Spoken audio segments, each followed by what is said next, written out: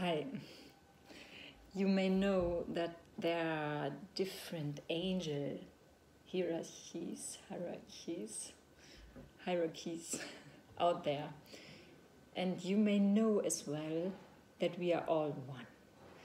So you are all of these angel hierarchies as well. That's logic, because we are everything, as everyone is everything. And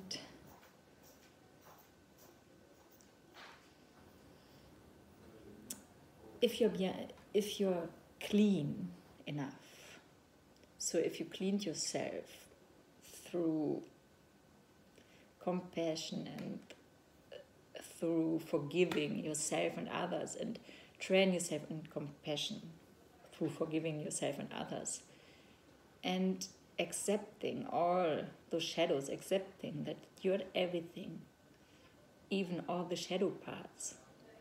You don't have to live them, you just have to accept them.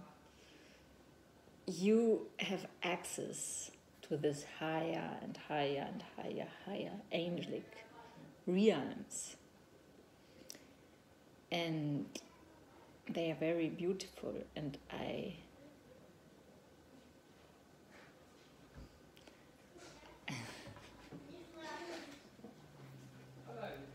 beautiful like children and animals.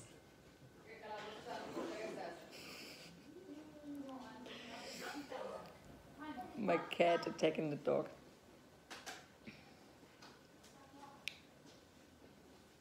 Yeah.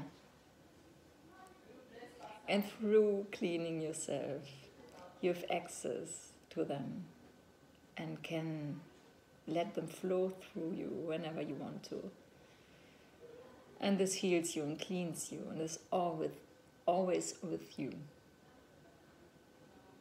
All the, those angelic realms are always on your side. That's how, how it is said, and that's the truth because they are always part of you. Thank you. Enjoy your day.